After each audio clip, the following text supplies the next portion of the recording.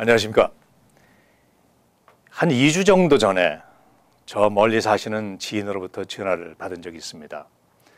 몸이 불편해지고 있는데 나이를 먹으면 70% 정도가 장기 보호 서비스를 받게 된다는데 메디케이드는 메디케어는 장기 보호를 커버하지 못하고 또한 장기 보험 장기 보호 보험에 가입을 못한 상태인데 미리 메디케이드를 신청해야 하지 않겠느냐. 또한 어떻게 하면 메디케이드를 신청할 수 있느냐 하는 질문이었습니다. 오늘은 장기 보호, long term care에 대한 말씀을 나누고자 합니다. 이민 와서 열심히 살았지만, 일을 했지만, 새로 시작하는 살림살이는 넉넉지 못했고, 노인이 되었을 때는 메디케어, 그것과 집 한 채, 은행에 들어있는 약간의 돈, 그리고 약간의 사회 보장금만 수입이라고 달랑 남는 경우가 많습니다. 일을 하지 않고도 세금 한 푼 내지 않은 사람도 메디케이드 받아서 각종 혜택을 무료로 다 받고 시민권자가 되면 정부로 받은 정부로부터 받는 돈도 받는데 그들이 받는 돈이나 내가 일해서 사회보장금으로 받는 돈이나 별 차이도 없는데 무엇인가 잘못 돌아가고 있다고 또한 허망한 생각도 들 때가 있을 겁니다. 차라리 미리 집이고 돈을 정리해서 자녀들에게 넘겨주고 스스로 빈곤자가 되어서 메디케이드나 그런 정부 혜택 등을 받는 것이 좋았을 것이라는 판단도 아마 하실 겁니다. 그러나 굳이 미리 빈곤자가 될 필요는 없다고 생각을 합니다. 어려운 분들을 돕는 것은 개인이나 정부가 해야 할 일이고 내가 비록 적은 돈으로 노년을 산다고 해도 미국에 공헌하고 독립적으로 살아가고 있다는 정신적인 건강을 유지하는 것이 중요하기 때문입니다. 문제가 생기면 그때에 메디케이드를 신청할 수 있습니다. 집 한 채와 자동차 한 대는 메디케이드의 재산으로 간주가 되지 않습니다. 나의 수입이 사회보장금을 포함해서 825불, 부부인 경우에 1209불 이하면 메디케이드를 신청할 수 있고 100불에서 200불 좀 상회돼도 surplus 메디케이드의 혜택을 받을 수 있습니다. 물론 메디케이드는 자신의 그 자산의 한도를 극소 한도로 규정을 하고 있습니다. 개인은 2,000불, 부부는 3,000불입니다. 그러나 두 분이 살다가 한 분만 nursing home에 가시는 경우 수입과 재산의 계산은 매우 다르게 책정되고 있습니다. 2016년 규정에 의하면 부부 중 남아있는 분의 수입 한계는 2,980불 50전으로 상향 조정이 됩니다.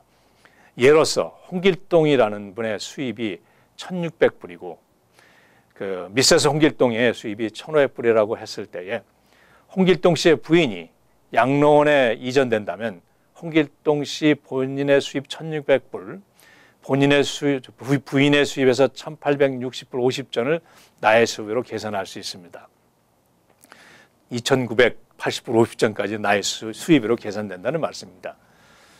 부인의 수입의 나머지 119불 50전에서 50불은 한 달 용돈으로 부인에게 드리고 나머지 69불 50전은 양로원에서 가져갑니다. 양로원의 기타 비용은 메디케이드에서 지불합니다. 재산에 대한 규정도 매우 다릅니다. 집에 남아있는 분의 분을 위한 그, 그분을 위해서 공동명의로 자산 총액이 23만 8,440불 이하이면 메디케이드가 고려될 수 있습니다. 물론 시간적인 차이는 있습니다.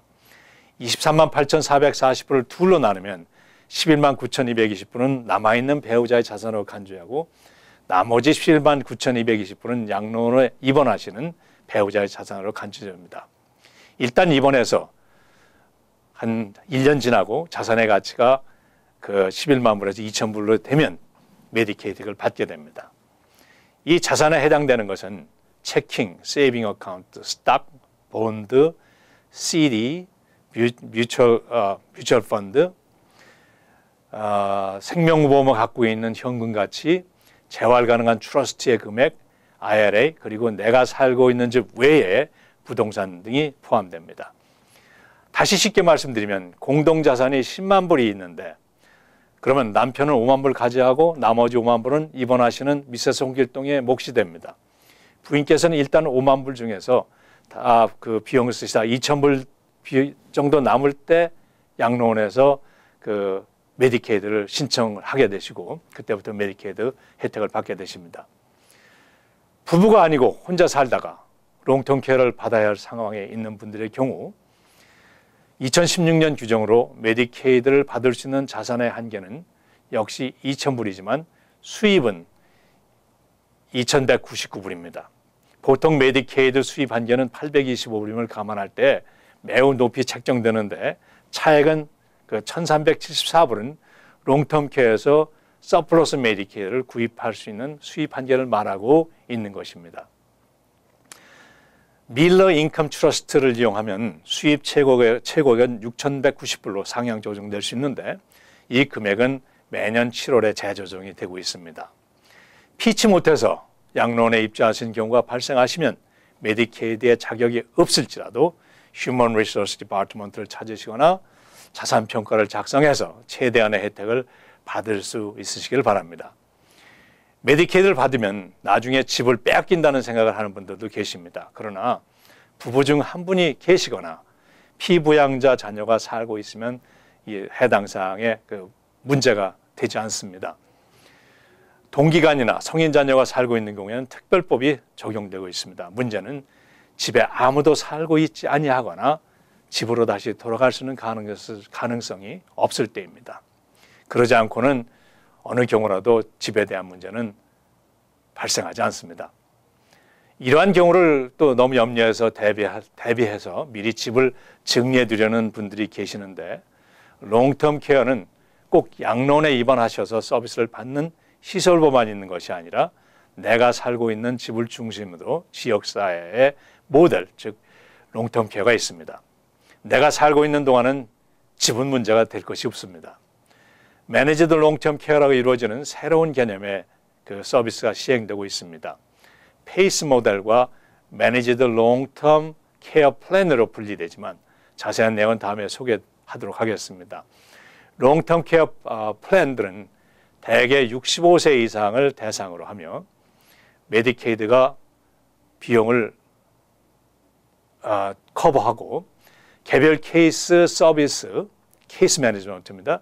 Home care, 어, 노인 주간보호센터의 어, social model 아니면 medical model, 어, 차량 서비스 등을 받게 됩니다. Plan에 따라서 주치의, 주치의와 전문의들이 구성되는데 그들을 통해서 의료 서비스를 받을 수 있도록 차량과 개별, 개별 케이스 서비스를 주선하고 있습니다. 모든 노인들이 long term care를 받고 있지는 않고 꼭 받을 필요 또한 없습니다. 현재 롱텀 케어가 없다고 걱정하시지 마시고 건강한 생각으로 긍정적으로 생활하시길 바랍니다. 그래도 꼭 롱텀 케어가 필요하다고 생각되시는 분들은 그 노인법 전문가와 상의하셔서 그 대책을 마련하시면 좋겠습니다. 감사합니다. 안녕히 계십시오.